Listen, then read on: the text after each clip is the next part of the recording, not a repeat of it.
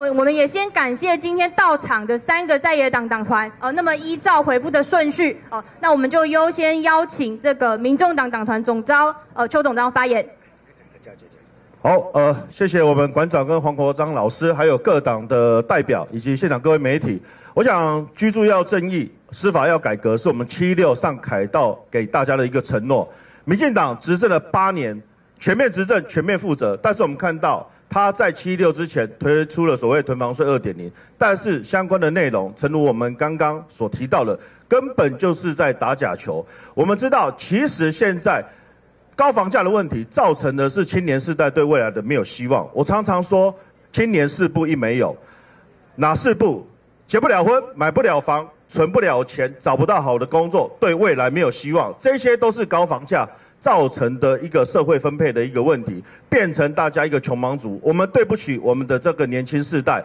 那对于中央立法带动的部分，民进党这一届在国会有六十几席的立法委员，行政院全面执政，可以看得出来，只有他们不想通过的法案，没有通过不了的法案。今天这样子的一个活动。他们居然没有派员到场出席，我们感到非常的遗憾。所以我想，居住正义的问题，包含相关税制的改革、租屋的补贴，甚至是黑市的问题，还有社会住宅的一个新建。民进党的居住正义三支箭讲得震天响，讲得非常漂亮，但是八年了。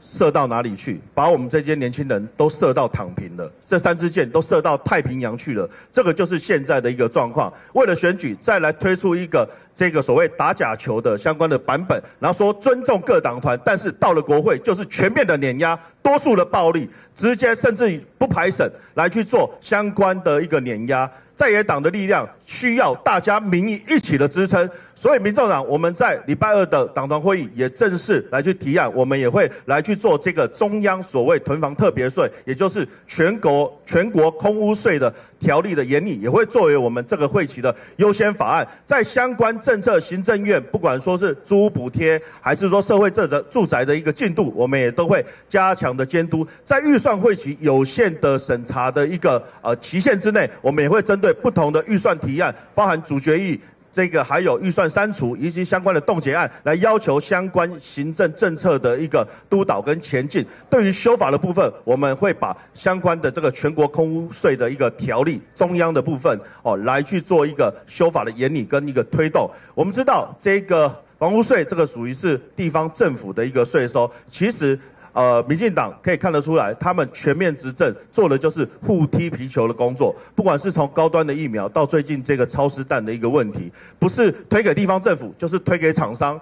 不然就是大家互相推给在野党，互相踢皮球。那我想，居住正义跟司法正义现在是全民最大的共识。我们不希望都要我们上街头，你才要来去用半桶水的回回应民意。我们希望要做就把它做到最好。政治的核心在于执行力。我们在这个会期一定全力强力监督，全力来去推动。谢谢。